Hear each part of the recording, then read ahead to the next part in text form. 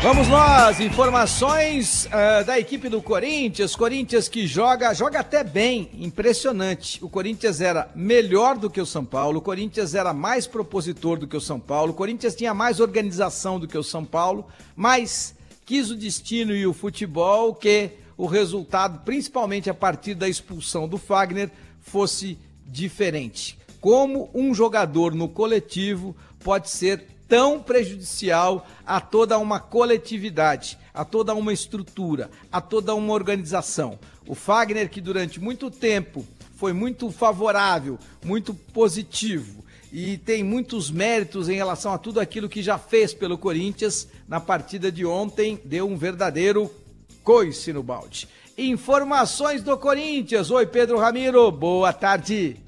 Fala Elia, um abraço para você, um abraço pro amigo ligado na Rádio Bandeirantes. Derrota importante do Corinthians diante da equipe do São Paulo. Timão que não vence um clássico desde julho do ano passado e agora só vai ter mais uma chance para tentar quebrar esse tabu diante do Palmeiras. Jogo que ainda acontecerá essa, este ano e este campeonato este é o Corinthians, que permanece com 28 pontos, só que agora com 28 rodadas já disputadas. E uma informação agora do período da manhã.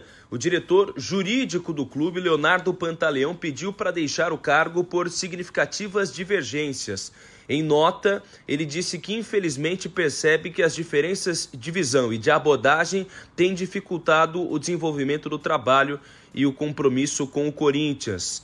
Então, uma informação importante, até porque era o Pantaleão que negociava com a CBF e também o que era possível de recurso para que o Corinthians ainda tentasse uma outra alteração de datas envolvendo essa disputa entre Flamengo, Corinthians, Vasco e Atlético Mineiro pelas semifinais da Copa do Brasil.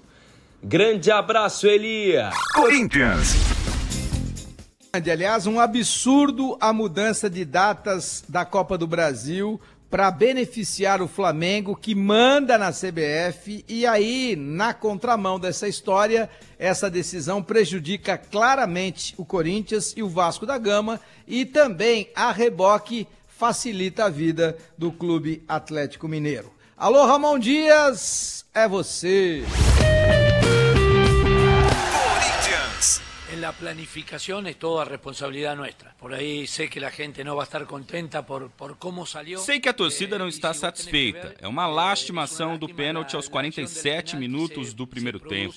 Não havia superioridade no clássico. Era um jogo de poucas ocasiões. Foi um dos piores clássicos que participei. Praticamente não se jogou com muitos erros. Para mi punto de vista fue uno de los peores clásicos que dirigí, porque no prácticamente no se jugó prácticamente a un gran fútbol. Seguramente vamos tratar de nos recuperar, já que quarta já jogamos.